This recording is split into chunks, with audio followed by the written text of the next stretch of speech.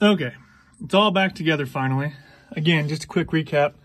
We took those two bolts out, take these two bolts out from the other side, pound this guy up, comes out pretty quickly, pretty easily. This guy threads apart really smooth. Took him all the way off. You know, we had our wheel cranked open. I got my wheel straight again now. But then you take this guy off. So you got a bolt up here, and a bolt down here, flip it around. Remember there's that gauge. Stick in here, see what your spacing is for that stop. Flip it back around, and then it just works like a giant wrench.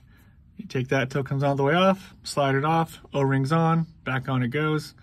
Really, it's pretty quick. I don't think ours is gonna hold. I don't know, I still think our cylinder's grooved.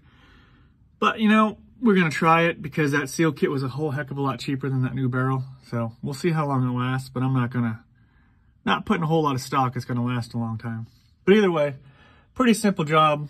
So that's how you do it.